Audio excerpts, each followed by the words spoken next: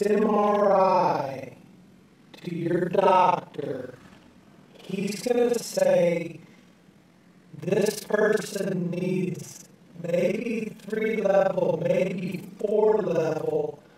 This is your, your spinal nerve.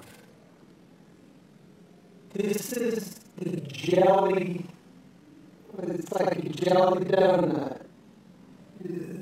The fluid inside your, between your vertebrae. Okay, this is a herniation, a big one.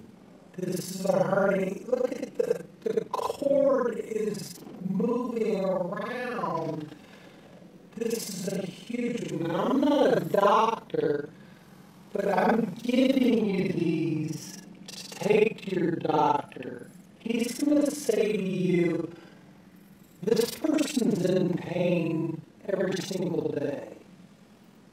There's, there's no way he's not, there's no way somebody's nerve been impinged upon that bad and he's not in pain.